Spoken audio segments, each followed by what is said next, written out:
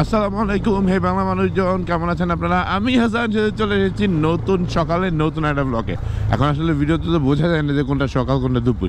আজকে আসলেই সকাল, অনেক সকাল। মানে অনেক সকাল না মানে মাত্র সকাল আটটা।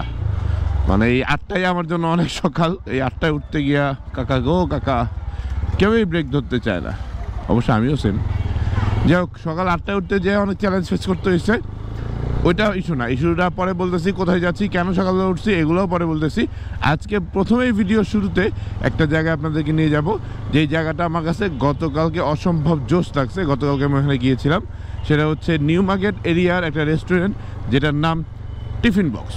Tick tick tick tick tick tick tick tick tick tick tick tick tick না এই ভিডিওটা কোনো স্পন্সর্ড ভিডিও না আমাকে টিফিন বক্স থেকে স্পন্সর করে নাই বা টিফিন বক্স আমার ভাই ব্রাদারেরও না বা টিফিন বক্সে এর আগে আমি রেগুলার খাইও না আমার এলাকার কোনো পরিচিত মানুষের দোকানও না আমাকে ইনফ্লুয়েন্স করছে টিফিন বক্সের প্রশংসা করে করে আপনার তানিশা ইয়াসমিন ভাবি কারণ ওনারা লেডিস লোক যেটা করে নিউ মার্কেট গাউসিয়ায় মনে করেন ছোট্ট একটা নোজপিন কিনতে যেও মনে করেন তিন ঘণ্টা ঘোরাঘুরি করে যাই হোক এরা আমার মাইন্ড খাইবো। যেটা যারা ওনাদের ফেভারিট একটা প্লেস হচ্ছে নিউ মার্কেট গাউসিয়া এরিয়া তো ওই এরিয়ায় ম্যাডাম মাঝে মাঝে যায় এবং গেলে উনি আর কিছু করুক আর না করুক টিফিন বক্সে যেয়ে খাওয়া দাওয়া করে আসে।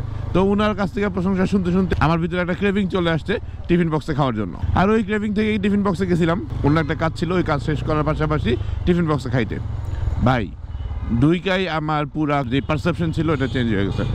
ছোট্ট একটা দোকান। খুবই ওয়েল বিহেভড প্রত্যেকটা স্টাফ মানুষজন ভিড় লাগে আছে ফুডের জন্য। প্রত্যেকটা ফুড নিতে আপনার একটু সময় লাগতেছে। ওনারা খুব এফোর্ট দিচ্ছে সবাইকে সার্ভ করার জন্য। সবাই খুবই ওয়েল বিহেভ আর টেস্ট প্রত্যেকটা টেস্ট ছিল এ ক্লাস আমরা একটা খিচুড়ি নিয়েছিলাম বিফ ভুনা খিচুড়ি। তো ব্যাপারটা হচ্ছে যে বিফটা একদম শুকনো শুকনো ছিল। খুবই টেস্টি ছিল বিফটা আর খিচুড়িটা। এরপরে আমি আসলে কনফিউজ ছিলাম যে আমি মোগলাই নিব কিনা? মানে এটা কেমন ভাবা যায়? একটা রেস্টুরেন্টে বসে ইউ অর্ডার মোগলাই। মানে আমি মোগলাই কোথায় খাই? আমাদের রেস্টুরেন্টে বসে মোগলাই। ডাবল ডিম দিয়া, পেঁয়াজ বাড়ায়া মরিচ বাড়ায়া মোগলাই খাই। বাট আমি একটা রেস্টুরেন্টে আসছি, ওইখানে যা মোগলাই খাব। তো ভাইয়াটা আমাকে ইনসিস্ট করে যে, ভাইয়া ইউ শুড ট্রাই আমি মোগলাইটা অর্ডার দিই। ভাই, আমার খাওয়া বেস্ট মোগলাই এভার আমি এত জোস টেস্টের মোগলাই কখনো খাই নাই। আমার মুখে এখনই পানি চলে আসছে। তো আপনারা যদি যান অবশ্যই ট্রাই করবেন। শুধুমাত্র মোগলাই বা খিচুড়িটা না, প্রত্যেকটা ফুড প্রত্যেকটা ফুড অসাম সবাই খুব ভালো রিভিউ দেয়। তো আমি কোনো ভিডিও টিডিও দেখে যাই নাই। আমি একটা কাজে গেছিলাম, ওইখান দেখে আসছি। তো আমি বলব যে আমাদের ঢাকায় বা ঢাকার আশেপাশে সবারই কম বেশি নিউ মার্কেটে যাওয়া হয়। নিউ মার্কেটে যাওয়া হয় না, এটা খুবই রেয়ার নিউ মার্কেট বা নীলখাত এরিয়ায় ঠিক বলাকা সিনেমা হলের পাশেই কিন্তু এই টিফিন বক্স তো টিফিন বক্সের আশেপাশে যদি আপনারা যান, অবশ্যই যেয়ে খেয়ে আসবেন। আর ওনাদেরকে একটা থ্যাঙ্কস দিয়ে আসবেন, এত জোস ফুড সার্ভ করার জন্য খুব বেটার ট্রাই করতেছে। তো প্রাইস আমার কাছে মনে হয়েছে রেগুলার একটা ওভার রেটেড রেস্টুরেন্টের চেয়ে বেশি প্রাইস থাকে তো আর হ্যাঁ আর একটা ফুড সেটা হইতেছে ওদের ঘিয়ে ভাজা জিলাপি। ও মাই গড খুবই টেস্টি ছিল মার্শাল্লাহ ওনারা আরও ভালো করুক বেস্ট অফ লাক ওদের জন্য। আমি তো মোটামুটি ওদের ফ্যান হয়ে গেছি। যখনই সুযোগ পাবো, তখনই যা টিফিন বক্সে খেয়ে আসব। এটা হচ্ছে আমার কথা। আর আমার মনে হলো যে এই ব্যাপারটা আপনাদেরকে জানাই। কারণ আপনারা দুটোর দিকে যান, আপনারা যে খেয়ে আসবেন আর ওনাদেরকে একটা। তবে হ্যাঁ একটা জিনিস একটু প্রিপারেশন নিয়ে যাবেন, একটু ভিড় থাকে আর ছোট্ট জায়গা। খুব বেশি বন্ধু বান্ধব নিয়ে খুব আয়াস করে খাইতে পারবেন, ব্যাপারটা এমন না। বাট এনজয় করবেন সময়টা। কারণ তাদের ডেকোরেশনের একটা জায়গা আমার খুব টাচ করছে। তারা ওইখানে কয়েকটা ছবি টাকানো ছিল। এর মধ্যে দুইটা ছবি আমার নজর কাটছে আর বাকিগুলো ছিল মুভির পোস্টার দুইটা ছবির মধ্যে একটা ছবি ছিল যে আগের দিনে নিউ মার্কেটের ওই জায়গাটা ঢাকা শহরের কেমন ছিল। অনেক পুরনো একটা ছবি দেখলে বোঝা যায় পুরো ফাঁকা রোড, শুধু বলাকা সিনেমা হলটা দেখা যাচ্ছে। মানে আমার কাছে খুব জোশ লাগছে এই আগের ছবিটা। আর আরেকটা ছবি ছিল মোস্ট প্রবাবলি এটা নিউ মার্কেটের গেটের ছবি।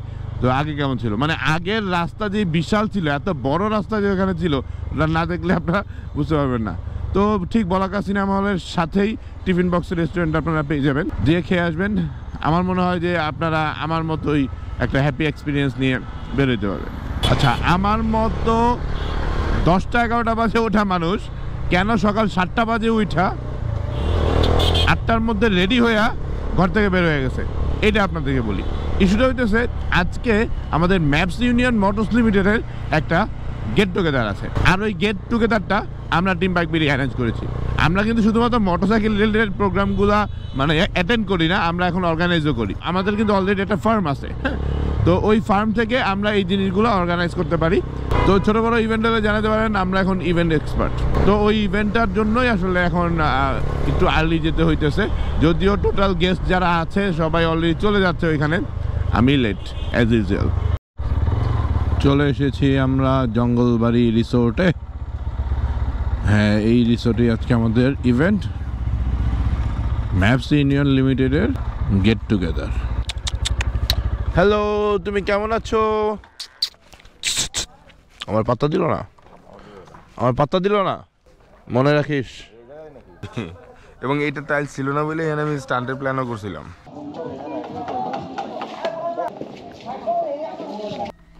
কিছু বলার মুড নাই আমার। জঙ্গল জঙ্গলের ভিতর দিয়ে আমরা যাচ্ছি। জঙ্গলে আসছো জঙ্গলে? হ্যাঁ। ওরে বাপরে বাপ সেই জঙ্গল তো?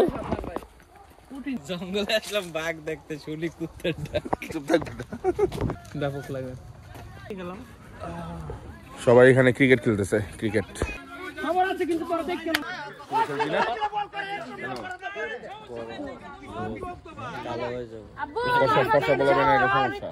রোদে পড়তে চায় না। এটা আমি এখানে দাঁড়ায় রোদে পড়তেছি।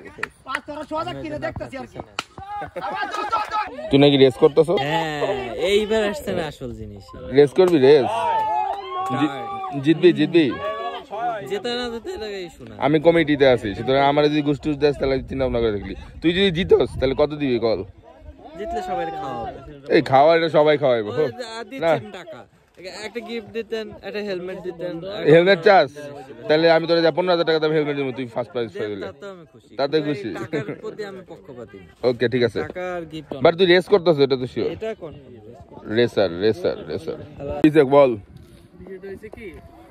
তো আমি আইসক্রিম খেয়েছি ফু তারপরে খিদেছি। চা খাইতে খাইতে কেন খাইতেছে সাজিদ? খিদের সময় তো চা খাইতে খাইতে অভ্যাস হয়ে গেছে। নাকি অন্য কিছু ফুদিয়া খাস? এই দেখেন এই দেখেন দাদা এই যে শুভ তাসান সাজিদ সব ঘুমাইতেছে। আর এই দেখেন আপনার ইভেন্টের গেস্ট লিস্ট করতেছে আমি বয়ে বয়া। দেখছেন? আর এরা সব ঘুমাইতেছে দেখেন। ডিম খিচুড়ি আতপ চাল। ইজ ইম্পর্টেন্ট হাত তোলো ডিম খিচুড়ি কে কে? ও ডিম খিচুড়ি খাবে কে কে? আমি। তোমার তিনটা বড় ভাই তোমার ডিম খিচুড়ি খাইছো আজ আজ আচ্ছা। তাহলে তুমি এখন থেকে ডিম খিচুড়ি আমাদের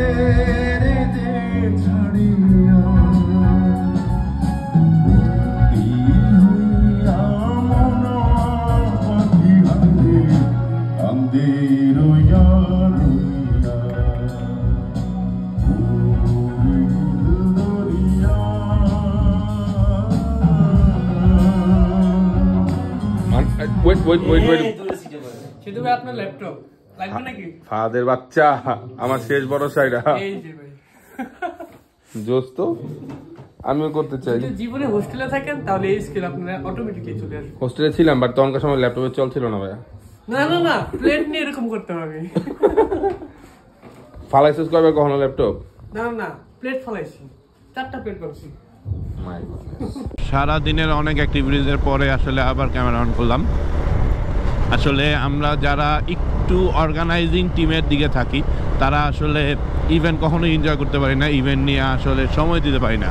যার কারণে আসলে এনজয় না করলে আসলে ইভেন্টের ভিডিও বানানো আমাদের জন্য চ্যালেঞ্জ হয়ে যায়। তো thank you so much maps union motors limited এবং যারা অংশগ্রহণ করছে এইচ এন এভরিওয়ান সবাইকে। আর আমরা বেসিক্যালি অর্গানাইজিং পার্টে ছিলাম, যার কারণে আসলে ইভেন্টটার ম্যাক্সিমাম সময়টুকু আপনাদেরকে ভিডিও করে দেখাতে পারি নাই, অথবা ভিডিও করার সুযোগ হয় নাই। তো যাই হোক, এই একদিক থেকে আমরা টিম বাইক বিডি খুব লাকি কারণ বাইক বিডির কিছু পার্সন আছে, কিছু মেম্বার আছে যারা আসলে এতটা স্ট্রং এতটা কোয়ালিটি যাদের মধ্যে আছে, আলহামদুলিল্লাহ। যেমন তাসান সাজিদ ডেফিনেটলি শুভ, আলহামদুলিল্লাহ, ফাহাদ। এই আমরা প্রত্যেকটা পুরো টিমটাই কাজ করছিলাম। বাট এই শুধু এরা না আরও অনেকগুলো আছে। আজকের টিমে ওরা ছিল। বাইক বিডির এক একটা পার্সন এক একটা হীরা মাসাল্লাহ আমি জানি না ওরা আমার ভিডিও দেখে কিনা মোস্ট অফ শুভ দেখে, বাকিরা দেখে না। বাট যেটাই হোক না কেন, আমি আসলে মন থেকে ওদেরকে অনেক মহব্বত করি। কারণ আসলে প্রত্যেকটা পোলা পাইন মানে এক একটা পিস আমি লাকি যে এমন একটা টিমের সাথে কাজ করার সুযোগ পাচ্ছি, আলহামদুলিল্লাহ। বাইক বিডি টোটাল এনভায়রনমেন্টে এদেরকে গড়ে তুলছে। হ্যাঁ এরা হয়তো লাখ লাখ টাকা কামায় না, অনেক বড় লোক না, অনেক টপ লেভেলের লাইফ স্টাইল ফলো করে না, বা লিড করে না। বাট এই প্রত্যেকটা ছেলে বাইক বিডিতে যারা কাজ করে, প্রত্যেকটা ছেলে এমন কোয়ালিটি হয়েছে এদের এক একটা ওয়ারিয়ার নেক্সট টাইমে কোনো, অন্য কোনো ক্যারিয়ারে যদি তারা যায়, প্রত্যেকে খুব ভালো করতে পারবে ইনশাল্লাহ তো যাই হোক, এখন একটা মিটিং আছে, এখন আর আপনাদের সাথে কথা বাড়াবো না। তিনশো ভিডিও অনেকদিন পর চালাচ্ছি, অনেক বেশি ঠান্ডা লাগতেছে। তো ওই ঠান্ডা ঠান্ডা ওয়েদারে চালাই চালাই চালাইতে চলে যাব আরেকটা মিটিংয়ে কারণ ওই মিটিংয়ের পরেই আসলে কনফার্ম হতে যাচ্ছে যে আপকামিং বাইকের অনেক ঘটনা টটনা, কীভাবে কী হবে, এগুলো আর কি। এগুলো নিয়ে মিটিং করতে এসেছি। যাই হোক মিটিংয়ের ব্যাপারে পরে বলি। বাকি মেইন ব্যাপার হচ্ছে আপাতত এখান থেকে শেষ করতে হবে। অনেক গাড়ি। Defender okay one day you will be mine ইনশাল্লাহ ওর এক একটা চ্যাক এক একটা। লিফটের চান না? ওকে